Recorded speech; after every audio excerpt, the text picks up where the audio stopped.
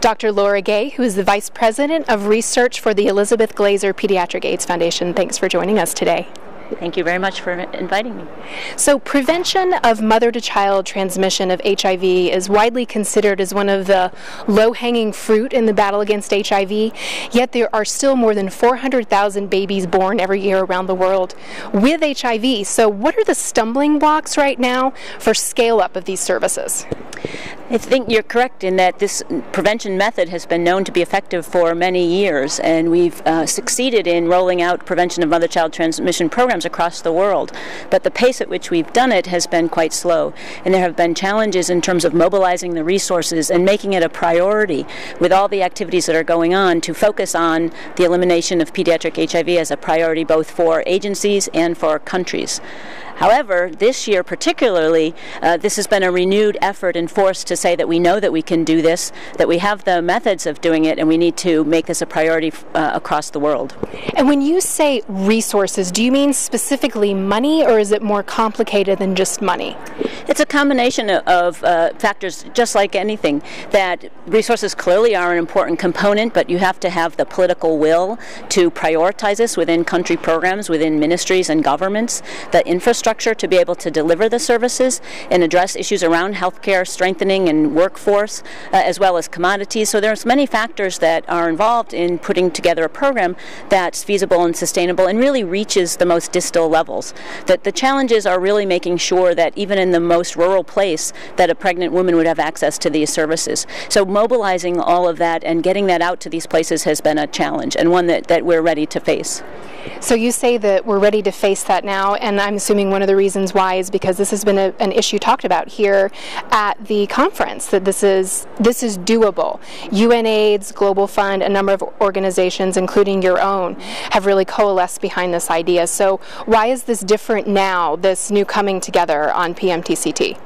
I think particularly for us as an organization, this has always been a priority and a focus and, and uh, the desire to make this happen. But with all of the other activities going on with um, other prevention methods, looking at rolling out uh, ART, that there's been so many areas to focus on at once that it's lost some of the priority and the momentum that was started earlier. So the programs that have been involved have really been looking for the leadership and the uh, momentum to, to garnish the resources and make it happen.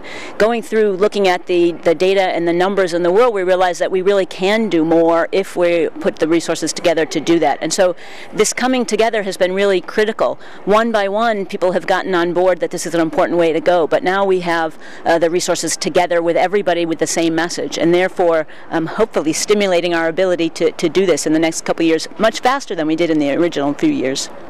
Now, your foundation is one of the largest providers of PMTCT. And looking ahead for the GHI, President Obama's Global Health Initiative, with this movement towards more integration of care, what does this mean for you on the ground with your focal point being PMTCT, but obviously the patients that you deal with have other issues as well? How will this movement towards integration of care affect you? Uh, you're correct. We have uh, provided services to over 10 million women uh, in, with a, through the Elizabeth Glaser Pediatric AIDS Foundation, and we're present in over 5,000 sites. So, with this new momentum, we hope to be able to contribute and expand our, our services and our reach to more women. And one thing I want to make uh, clear to people is that PMTCT is oftentimes seen as a separate vertical program, but the, the premise of what we're looking at with PMTCT is similar to the uh, maternal child health and decreasing maternal and infant mortality.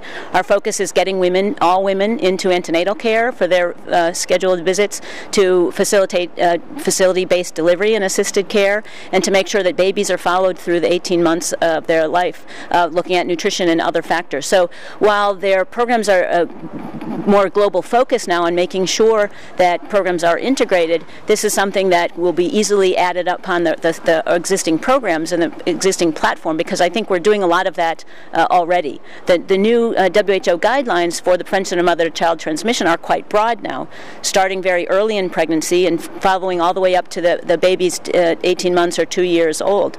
So that platform uh, gives us the ability to promote the same services uh, that decrease infant and maternal uh, maternal mortality, such as uh, safe delivery, as uh, prevention of neonatal sepsis, immunizations for babies, nutrition and uh, monitoring and growth and, and infant feeding support. So all of these are part of the comprehensive package that address MCH issues as well as PMTCT.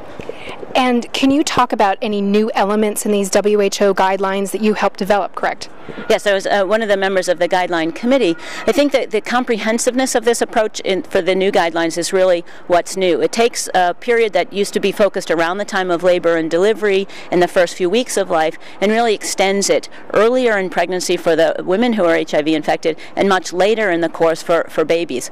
The biggest change in the guidelines is really addressing the issue of HIV transmission through breastfeeding.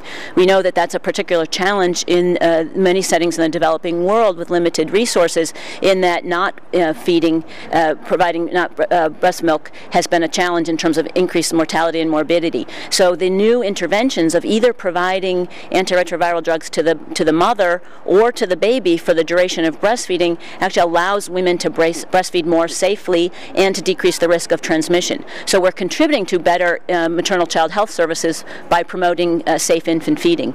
The other thing that is not new in the guidelines but is really emphasized that we really have to do if we really want to make a difference in uh, decreasing the number of infected babies is making sure that all women who have low CD4 count and require uh, antiretroviral therapy for their own care um, have access to those services. Not only will that be the best thing for the mother's health and prolonging the mother's life, but also that the women they are the women who have the highest rate of transmission. So if we can achieve that part of the guidelines, we'll make significant progress both in maternal mortality as well as preventing infant infection. Dr. Laura Guay with the Elizabeth Glaser Pediatric AIDS Foundation, thanks for your time.